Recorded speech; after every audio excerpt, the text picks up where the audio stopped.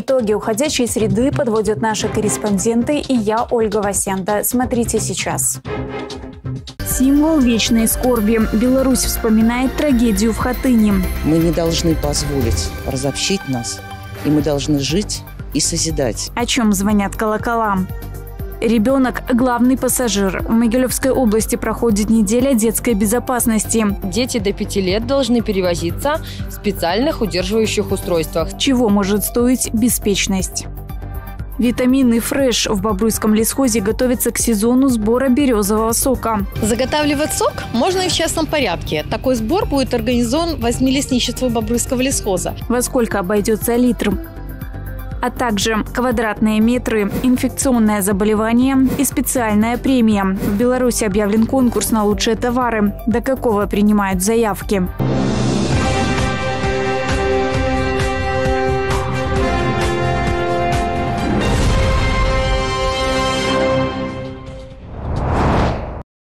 Символ тяжелых испытаний белорусов и свидетельство несгибаемого мужества в годы Великой Отечественной. Страна вспоминает Хатынь. 22 марта 1943-го страшную смерть от рук фашистов приняли 149 стариков, женщин и детей. Самому младшему было всего несколько недель.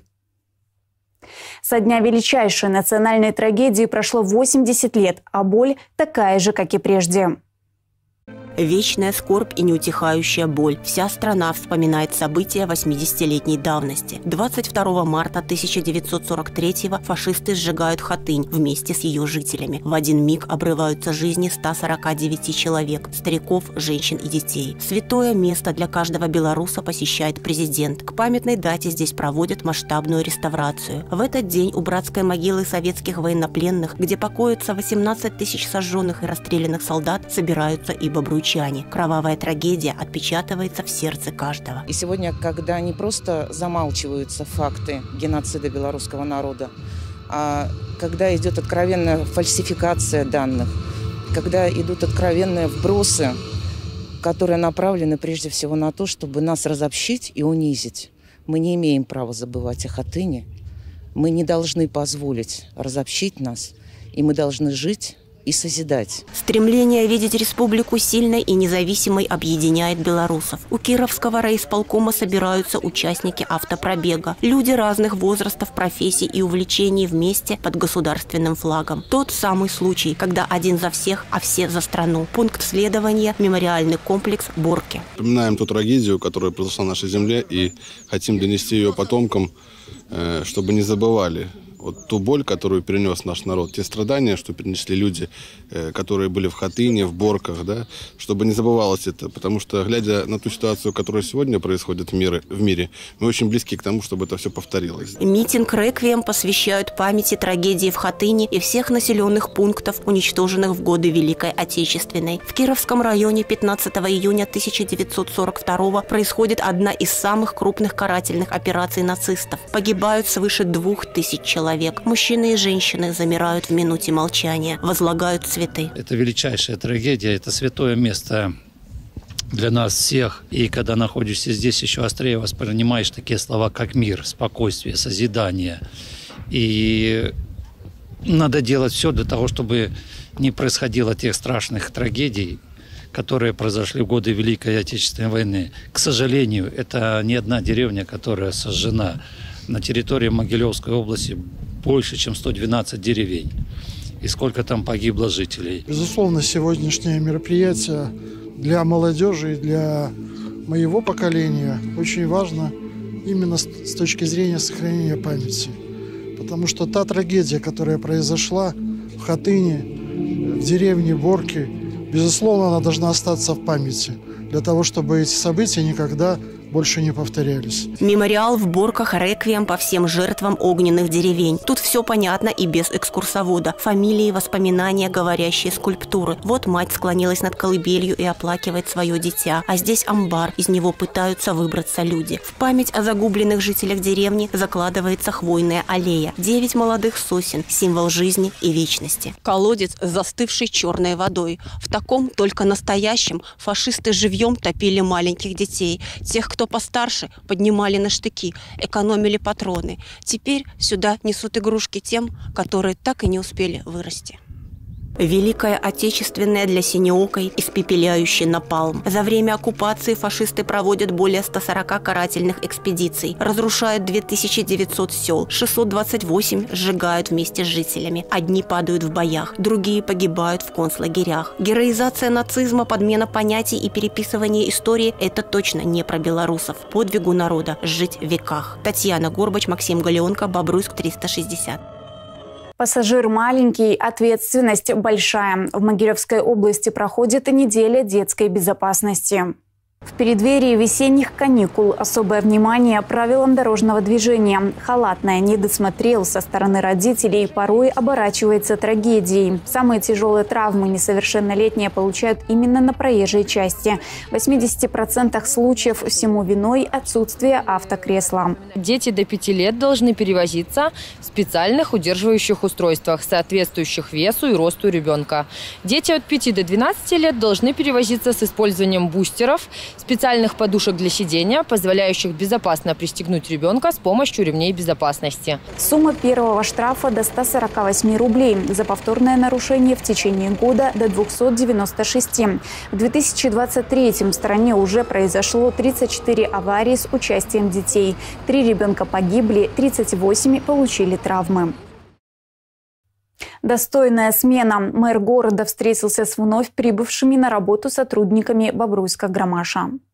Не покидая рабочего цеха, участники обсудили жилищные вопросы, гарантии и компенсации молодым специалистам, льготы, социально-правовую и экономическую защищенность.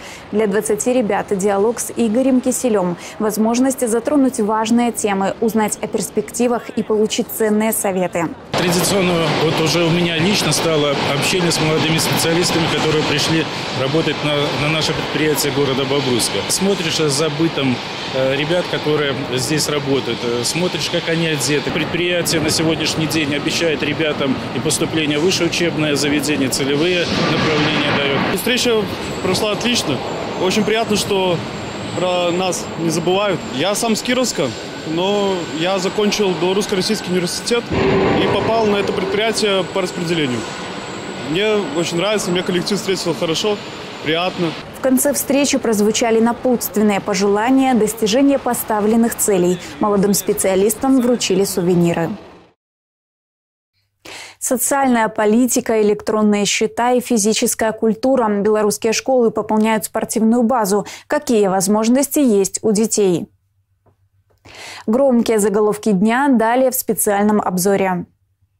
Почти 6 тысяч квартир возвели в стране за два месяца. Около половины предназначено для нуждающихся. Активно идет строительство и в сельских населенных пунктах. За январь-февраль введено в эксплуатацию более 239 тысяч квадратов. В планах увеличить и количество арендного жилья. Политика государства здесь неизменна. Нужно обеспечить достойную жизнь каждому белорусу стране заменили свыше трех миллионов индукционных счетчиков на электронные. Работа в этом направлении продолжается. Преимущество современного оборудования – высокая точность показателей, а также возможность дистанционной их передачи. Данные фиксируются в личном кабинете ЕРИП, поэтому оплатить счет за электроэнергию можно в два клика.